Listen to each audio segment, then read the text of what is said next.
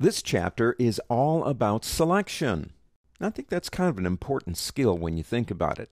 If you've ever taken my classes on Photoshop, you know how I feel about selection when it comes to Photoshop. I think it's one of the most important skills you will ever develop in that program. You have to be able to select. Now, selection in a vector program, we call it object oriented, is obviously different because you're dealing with vector objects. It's easier to select them, but still there are some tricks here I think we can play around with. Now, in this first lesson, what we're going to do is discuss just this one right here. That is your basic vanilla click it and you got it selection tool. If I select that tool and come over here, incidentally, I have the image selection magic open. It is in your working folder if you want to play around. If I come over here and click on this face, it selects the face. Now notice something that happened. It became selected. It shows me it's selected. There's a bounding box around it. The bounding box allows me to go into it and, well, make him uh, larger. I could rotate. And do a lot of different things once you have it selected. Let me undo. I love undo. If you don't see that box, it's possible you might not, even though it is the default. I want you to go up to the word View on the pull down menu and go down to Show Bounding Box. Mine says Hide. If I turn that off, as you can see, that goes away if you don't have it. Some people don't like to use it.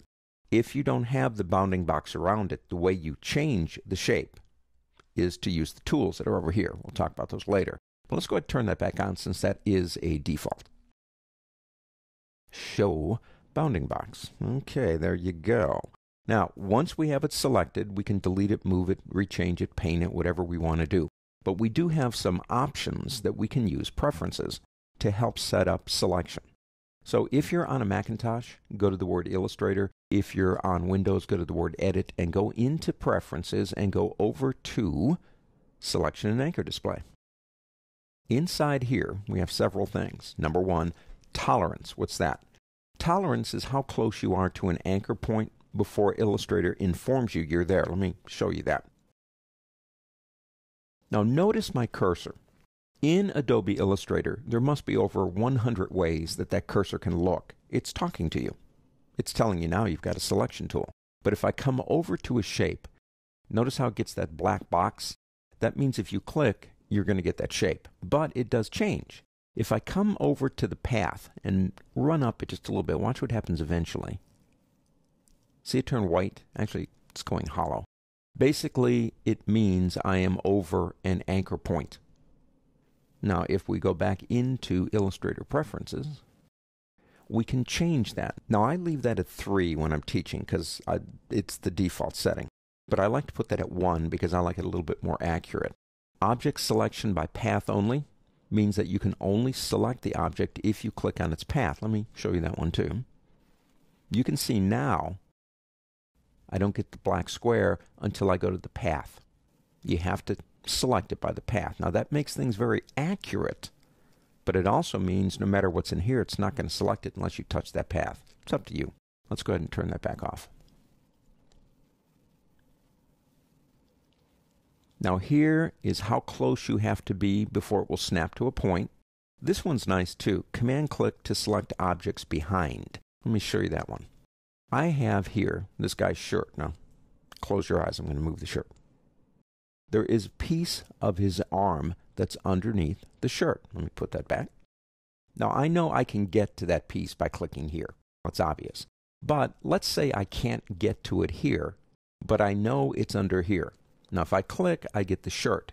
If I command, and that would be the command key on a Mac and control key in Windows, if I command click it, I can go and get it. Now, if I click again and there were something underneath there, it would then get that next piece down. So selection is not just about, say, for example, selecting a piece. It's about stacking order. It's about what's on top of something else. And we can drill down by using the command key or the control key in Windows. Let's go back into preferences. Here, choose how you want your anchors and handles to look. Now, that's up to you. The default here, you want them bigger, you want them smaller. Highlight anchors on mouse over, I like that, so it will show you your over and anchor. And show handles when multiple anchors are selected is one I don't choose. Now, what that means is if you have a couple of anchors selected and they are smooth points, which means they will have these handles, they're all going to pop up. If you have a complicated shape, well, that could get kind of confusing when you think about it. So, basically, selection is the ability to choose an object or objects. Let me do that too. Let's get out of here.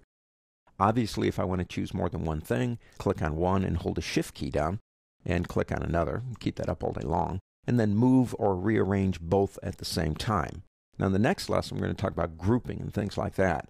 But selection is just, well, it's a basic skill. It's pretty simple up front, but it can get more complicated as your objects and your drawings get more complicated too.